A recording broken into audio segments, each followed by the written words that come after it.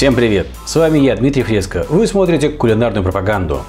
Давненько не показывал я вам рецептов хлеба. Исправляюсь. Меня сотню раз уже, если не тысячу, просили показать рецепт приготовления теста на закваске. Я все время отнекивался, ну, мотивируя это тем, что мало кто захочет возиться и готовить эту самую закваску.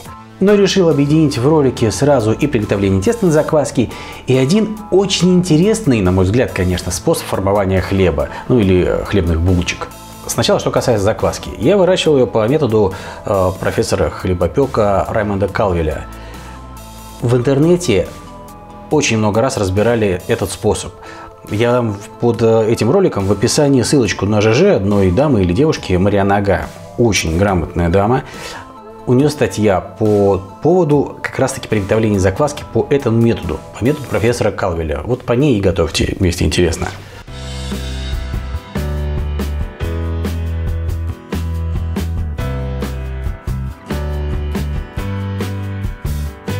Итак, вот э, здесь она у меня и живет. Э, закваска я имею в виду. Вчера вечером в очередной раз подкормил ее, ну, то есть добавил немного муки и воды и полминуты перемешивал. И вот так она у меня поднялась. Э, каждая закваска, живущая в каждом доме, по-своему уникальна. Это же симбиоз диких дрожжей и молочно-кислых бактерий. И какие именно культуры дрожжей в результате выращивания в ваших условиях, вашей влажности, вашей муки, в конце концов, у вас преобладают, такая она у вас и получится. Э, запахи, ароматы очень сильно отличаются у разных людей. Все, что касается закваски, выращиваемых в домашних условиях, в естественных. Каждая закваска пахнет по-своему. Даже я вот делал две или три разных закваски, и все пахли по-разному. Вот это конкретно пахнет почему-то кислыми яблоками. Очень приятный запах. Смотрите, как она значит запузырилась. Да, и не надо думать, что вы растите закваску месяц для того, чтобы приготовить там 12 булочек. Нет, вырастили и пользуйтесь закваской год, два, отделяя под каждую выпечку необходимое вам количество, а остаток подкармливаете мукой, водичкой, и она опять вам растет. Закваска придает хлебу очень характерный вкус, очень характерный аромат, но работает, в отличие от обычных стандартных хлебопекарных дрожжей, гораздо медленнее. Я ставлю хлеб на густой опаре. Для ее приготовления мне понадобится 35-40 граммов вот этой закваски. Вот, как-то так чтобы в будущее дрожжевые культуры и молочно-кислые бактерии распространились равномерно и как можно быстрее, а, разведу ее водой. Ну, ее понадобится совсем немного, 35 граммов. И старательно перемешать до однородности. Вода обычно кипяченая, давно остывшая. Температура не важна. А теперь мука. Примерно 65 граммов. И перемешать тоже до однородности. То есть всего мне получается комочек очень густой опары весом 140 граммов. Остается накрыть его пленкой, чтобы не пересыхало, и оставить на выбраживание.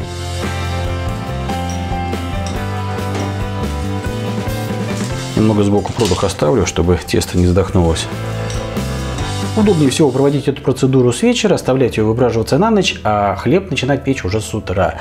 Поэтому вот из-за этого длительного промежутка времени я, собственно говоря, так и тянул с роликом. Ладно, у меня перерыв, а у вас разглядывание Касабланки с высоты птичьего полета.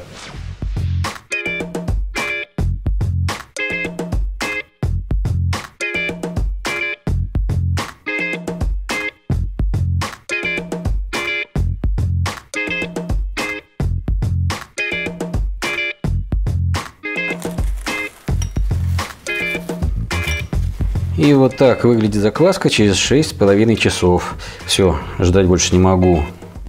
А то солнце уходит, а пока еще тесто подойдет, потом расстойка, потом выпечка. Уже глубокой ночью заканчивать придется.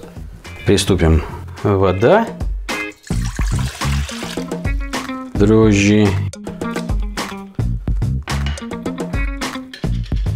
И сразу мед.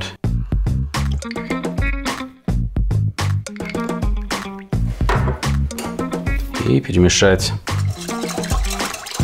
Причем здесь дрожжи, спросите вы. Да, можно, конечно, готовить исключительно на закваске, но на мой вкус она придает слишком сильный вкус. Я имею в виду слишком сильный кислый вкус. Если приготовить исключительно на закваске, то к тому времени, когда тесто поднимется, молочно-кислые бактерии развернутся уже во всю ширь. А вот если добавить немного хлебопекарных дрожжей то они поднимут тесто гораздо быстрее, и оно не успеет набрать вот этой кислоты от молочно-кислых бактерий. То есть я получу более сбалансированный вкус. Теперь надо добавить соли, перемешать и муки.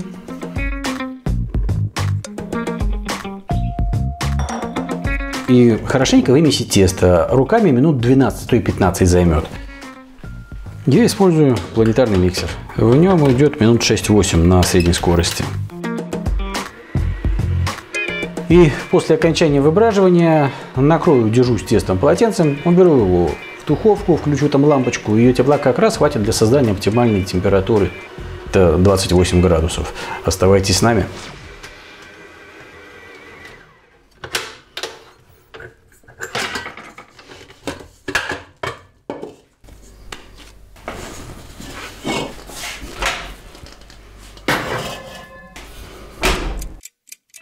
Продолжаем разговор. Прошло полтора часа, и тесто, как вы видите, прекрасно поднялось. Пора формовать булочки. И я напоминаю, что именно из-за способа формовки я как раз таки решил снимать сегодняшний ролик. Тесто у меня всего 1200 граммов, ну плюс-минус 1200. Смотрите, как оно пузато и лениво разлеглось. Чтобы получились одинаковыми, разделю тесто на весах. По 100 граммов на штучку.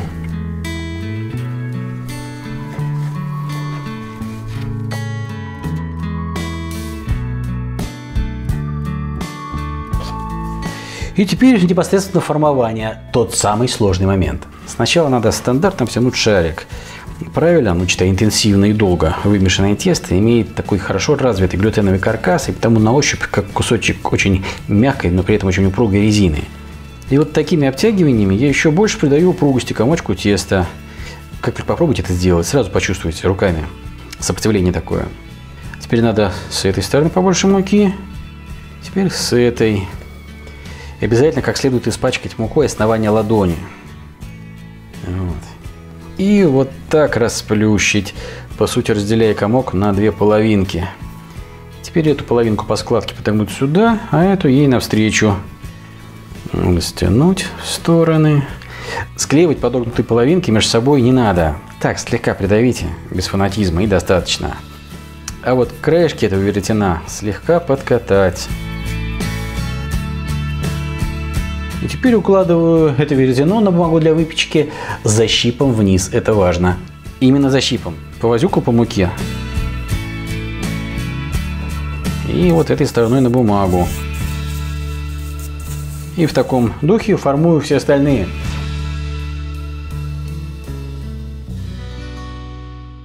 Очень важный момент – расстойка сотни, тысячи, десятки тысяч рецептов во всем интернете опускают этот момент, либо говорят, ну, 20 минут постояла и в духовку. Слушайте, не надо так делать, это полная порнография.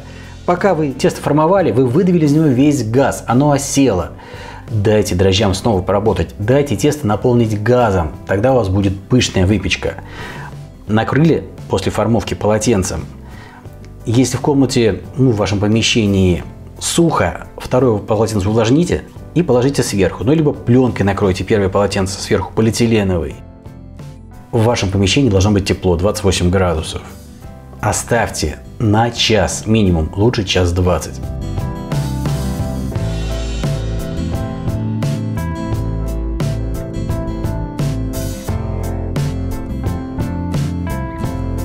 И вот так они выглядят через час. Выпекать надо в раскаленной до 250 градусов духовке. В идеальном варианте на раскаленном камне. Нет у вас камня, положите плитку керамическую, которая осталась у вас от ремонта, раскалите ее.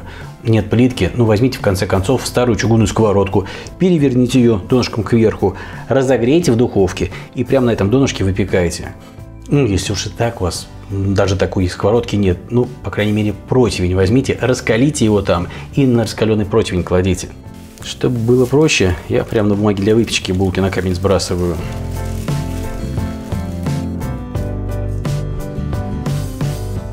Но теперь, чтобы получить красивый внешний вид, надо аккуратно каждую булочку перевернуть защипом вверх. И вот тогда при выпечке ее и разворотит так эффектно. На камень. И воды на дно. В духовке температура-то высокая, и если там сухо, то поверхность каждой булочки начинает очень быстро высыхать, образуется корочка, а теплота внутри булки еще не успела пройти. В результате, когда она таки проходит вовнутрь и пузырьки газа пытаются расшириться, на поверхности каждой булочки корочка уже образовалась, и расшириться пузырьки газа не могут. В результате выпечка не подходит. Если вы увлажните атмосферу внутри духовки, тогда эта самая корочка образуется медленнее – и булки успевают вырасти в духовке, успевают сильно вырасти. Поэтому увлажняйте.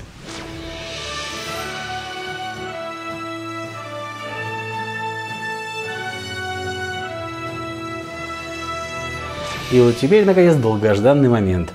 Разглядывание булок вами и пробование булок мной. Слышите, какая корочка?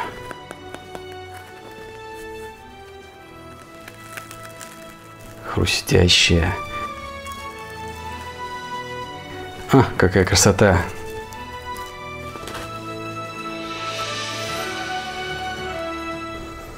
А запах просто волшебный.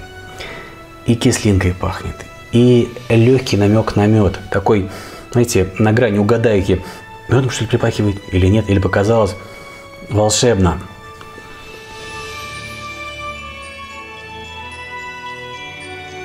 Свежий хлеб в принципе потрясающе пахнет и очень вкусен. А уж на закваске. Что касается закваски, если вам лень с ней возиться, прекрасно понимаю, сам лентяй. В конце концов, формуя вот таким образом булочки, можно приготовить э, их из теста без закваски. Ну, например, возьмите рецепт вот э, из этого ролика, если не лень. Ой, какая красота. А то можете заморочитесь и приготовите. Это классно. Долго ждать, конечно, эта закваска вырастет, но вот так вот оно у меня стоит, есть не просит. И я раз в неделю, иногда два раза в неделю пеку, и все прекрасно. Огромное спасибо, что досмотрели до этого момента. Традиционное спасибо спонсору Самури за предоставленные ножи. Кстати, соберетесь прикупать их, помните, что по промокоду Фреско можете получить скидку в 20%. Огромное спасибо тем, кто ставит лайки и дизлайки и делает репосты. Спасибо за компанию. Всем пока.